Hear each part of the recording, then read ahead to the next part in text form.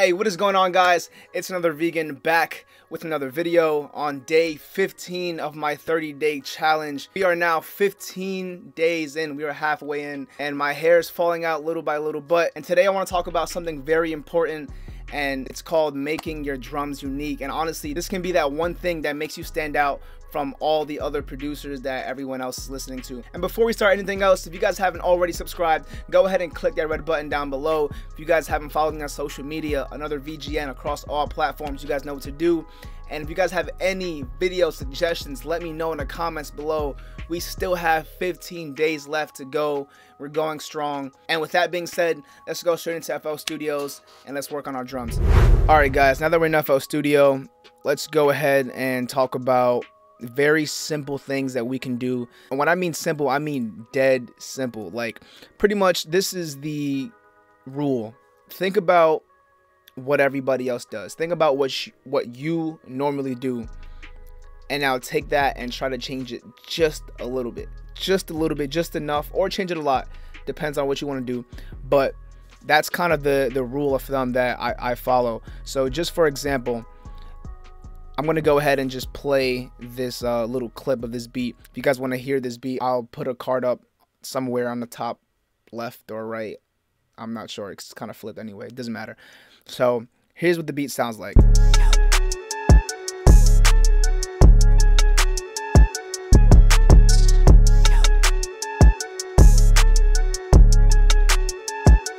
Now, I want to point out a couple of things that I did or I can do to make this drum pattern sound just a bit different.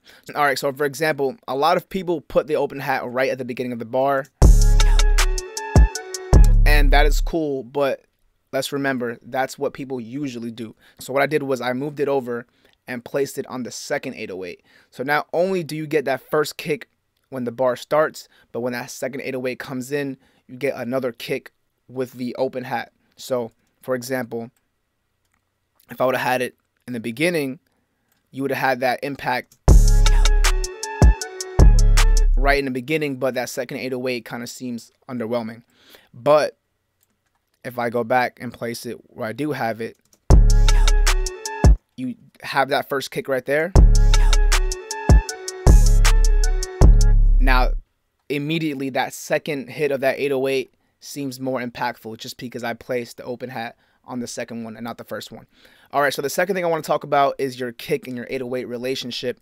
So, what I have to say is you don't really have to have your kick and your 808 hit at the same exact time. What I like to do honestly is I like to kind of have like a delayed kick effect. So, on the first three 808 hits, let's go ahead and just solo those out, right?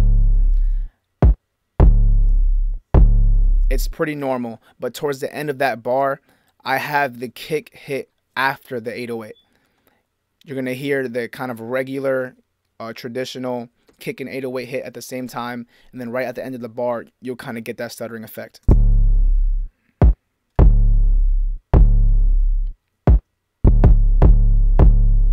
So right here. All right, so those are two examples that I have and I implemented into this beat alone. Now, I wanted this beat to be very simple, so I didn't do too much after that, but I'm going to talk about other things that I could have done. So, let's talk about the hi-hats. So, for this beat, I kept a very simple two-step hi-hat, nothing really special, to be honest. But now, what I could have done was I could have added multiple hi-hats to give the entire beat a different rhythm. Uh, now, I'm going to go ahead and create an entire new hi-hat pattern real quick. Let's just go ahead and play the beat with the first hi-hat pattern and then play with the second one. So here's what it sounds like with the first one.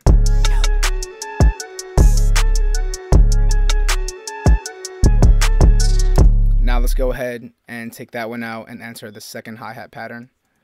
And let's move this out the way so we guys can see. So we guys, what the am I talking about?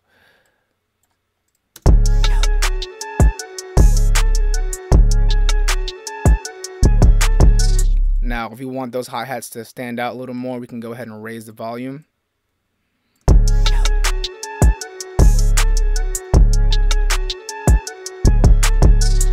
And now that we got the hi-hats out the way, I want to talk about one more tip that I feel like a lot of people don't do, and that is just sampling your drums, honestly. And what I mean by sampling your own drums is go ahead and make your drum pattern as you would normally do, but now you can go ahead and record that, take it into Fruity Slicer, mess with it, and come up with something completely different. I'm going to go ahead and go into Fruity Slicer, take one of the 808s, and reverse it. So now what we have is And let's go ahead and listen to that new sampled 808 pattern.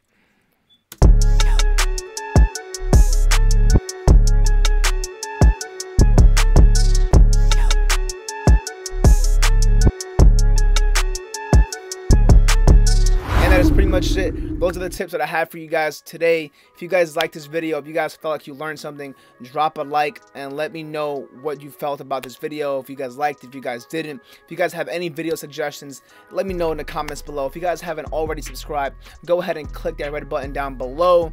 If you haven't followed me on social media, another VGN across all platforms. And that's pretty much it. Thank you guys for watching, and I'll see you guys tomorrow. Bang.